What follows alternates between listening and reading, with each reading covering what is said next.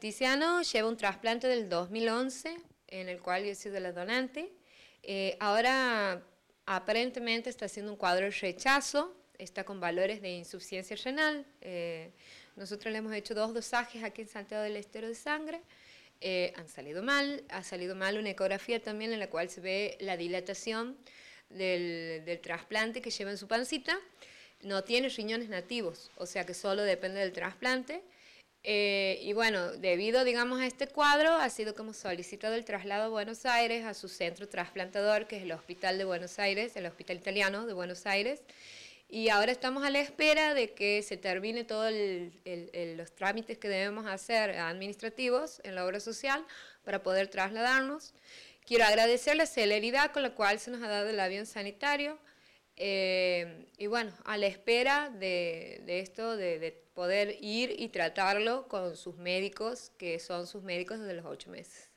Tiziano está en tu casa hoy, eh, afortunadamente conseguiste el avión sanitario, lo que quiere decir que en breve, si eh, todos los trámites con la obra social van bien, lo puedes trasladar, ¿lo vas a llevar al hospital italiano o va al Garraham?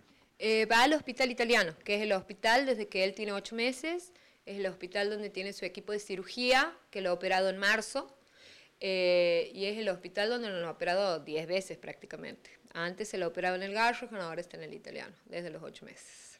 Eh, lo de Tiziano, ya lo has dicho, es un caso milagroso, por llamarlo de alguna manera. Sí, sí. Eh, ¿Cuáles son las posibilidades de Tiziano? Digo, ¿Cómo sigue esto en adelante? ¿Qué te han dicho los médicos?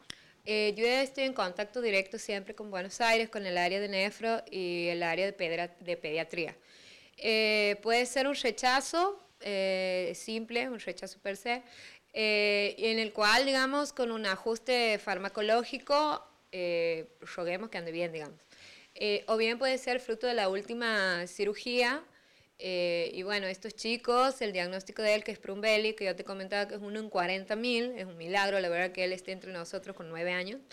Eh, bueno, ellos suelen no funcionar bien a nivel urológico, así que también es una posibilidad que, lo han cerrado y esa vejiga no funcione bien y haga que haga insuficiencia renal.